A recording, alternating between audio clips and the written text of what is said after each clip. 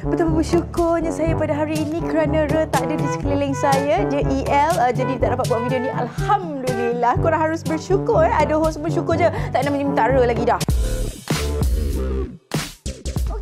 Sarah nak cerita pasal benda yang tak patut sebenarnya korang semua buat dekat dalam movie ataupun pawagam. Alright, benda ni basic, okay? Semua orang dah tahu, jangan bising. Yes, walaupun kali kedua, kali ketiga kau pergi tengok cerita favourite kau tu, kau bawa member-member kau yang belum pernah tengok, tak perlulah kau cerita balik kat dia. Dia datang nak tengok movie, bukan nak dengar kau cerita kat sebelah telinga dia. Lepas tu, kalau nak bawa anak kecil, macam terpaksa sangatlah bawa baby yang baru habis pantang tu nak sangat tengok movie kan, kita tak ada pilihan lah kan. Bawa barang-barang yang boleh menyediakan anda sebagai seorang parent parents untuk mendiamkan bayi anda supaya dia tak meragam. Contoh kalau dia nak melalak sikit sumbat puting, nak melalak sikit sumbat biskut. Kalau nak melalak sikit ah masukkanlah apa dalam mulut dia supaya dia tak meragam. Kalau meragam keluarlah cepat-cepat mengganggu ketenteraman orang lain. Yang ni tak sure ada lagi ke tak orang buat zaman sekarang ni.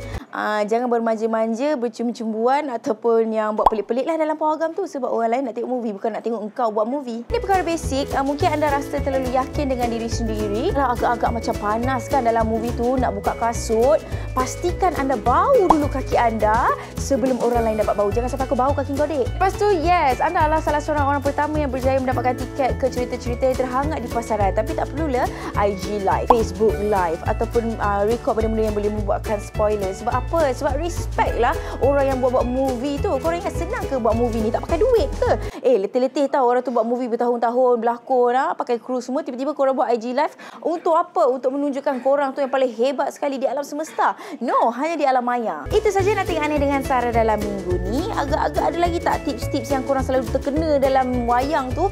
Komen dekat bawah yang Sarah tertinggal. Jom kita marah di ramai-ramai motif. Kau perangai tak senonoh kat dalam movie. Nak tengok movie lah. Eh, marahlah kakak.